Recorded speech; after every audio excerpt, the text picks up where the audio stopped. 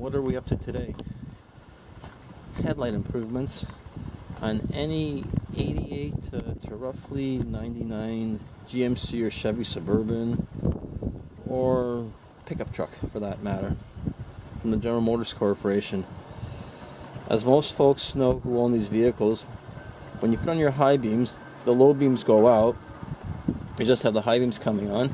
Well, that gives you an okay light further down the road, but it sort of gives you a dark gap um, around 50, 60 feet in front of the truck. So um, modifications that can be made that you see on a lot of forums and things like that are modifying it so that the low beams will stay on with the high beams. There's good ways and there's not so good ways of doing it. Just hacking in a couple of wires really won't cut it, no pun intended. So it's always good to use relays and circuit breakers to protect your circuits that you're doing and things and then and try not to cut the wire harness totally but rather just slip this, the insulation back just a little bit and wrap and then solder your um, your added wires on from your relay onto the um, new setup that you have. Now you might see the HID ballast over here. That's because this vehicle was equipped with HIDs on the low beams. And those are absolutely terrible for oncoming traffic I found. And, um, and when it was a little bit foggy outside, just the glare the lights would be throwing would be terrible back in my eyes. And um, it has to do with the lighting standards that we have, uh, the European versus the uh, standards that we have over here. The European standards have a very sharp cutoff. Advantages to that is that you don't get too much glare or anything like that um, happening uh, um, back in your eyes and in the eyes of pedestrians and oncoming drivers, but it won't light up the signs too well further down the road.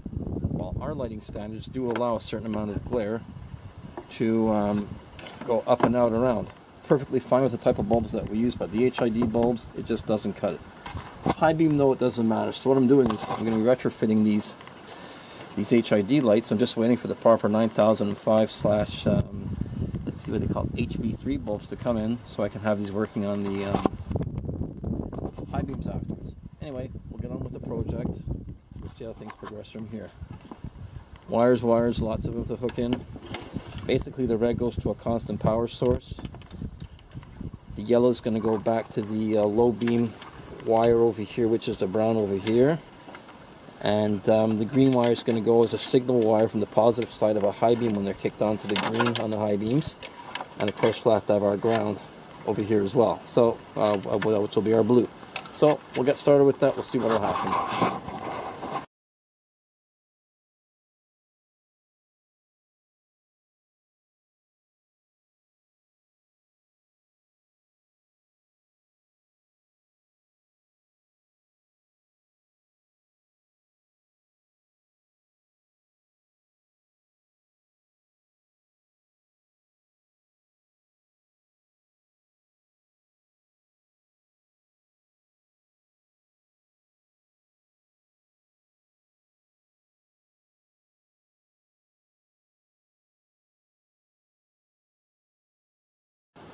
Well, here are things as they stand right now. Pretty much hooked up. When it gets warmer, we'll have to do a bit of tidying up. A couple of things didn't exactly pan out. I thought I would be able to find a ground over here for the um, negative side of the relay over here, but it looks like there's no ground available. But so I had to do a, a ground over here, which will work for now. It's out of the way of everything. And it is a ground, so there's no worries about getting any sort of, sort of short circuits.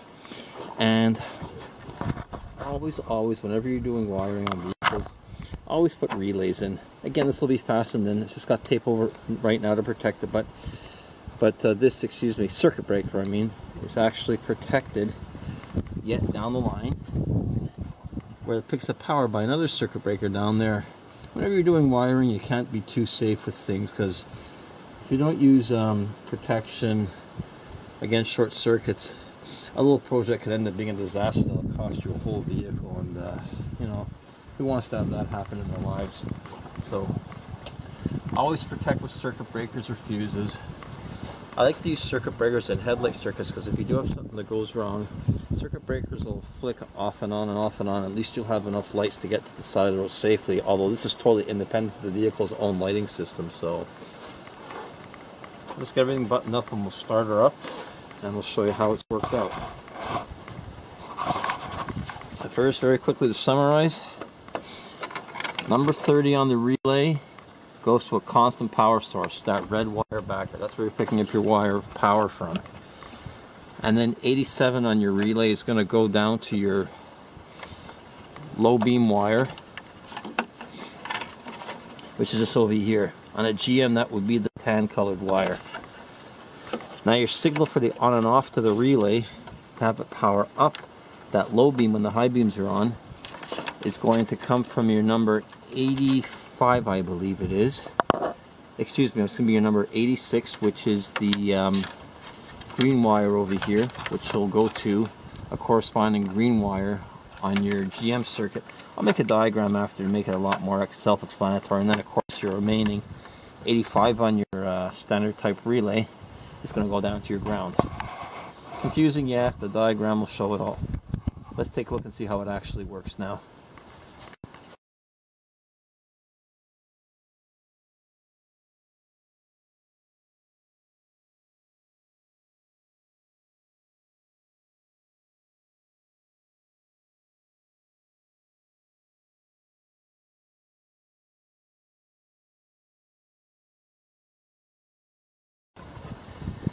Now we'll see how well our project worked out.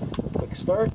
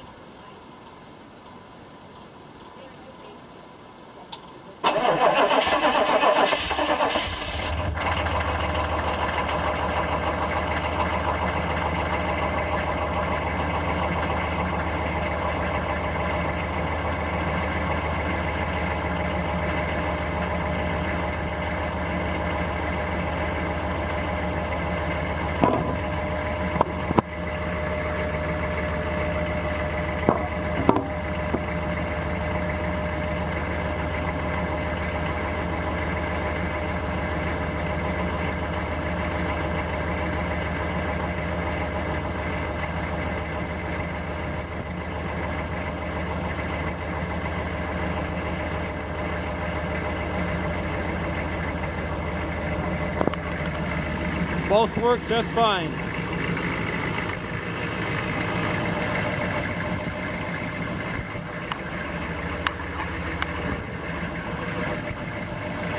That hard starting problem, I'll show you in a second. It's coming from here. A connection's going green, a connection's getting bad. That's gonna have to be addressed very soon. It was a real hack job done to that, I'm afraid it looks like. But that's going to be addressed as soon as the weather warms up again. But anyway, success. Project worked out. See you later.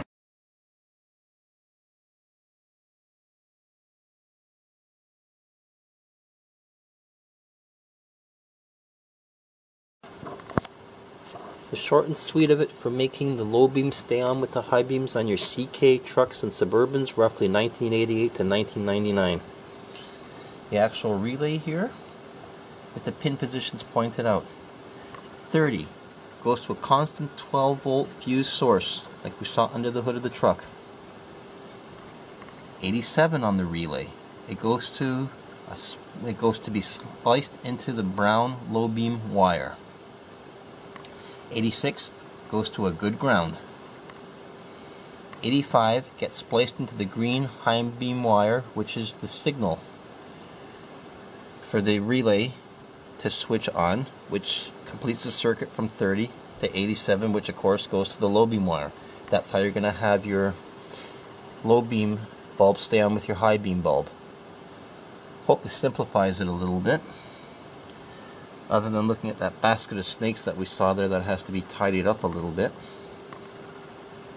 And just a note, if you end up getting a 5 pin relay or a 5 blade relay, just ignore 87A. It's there, it's not going to do anything obviously. You're not going to be using it.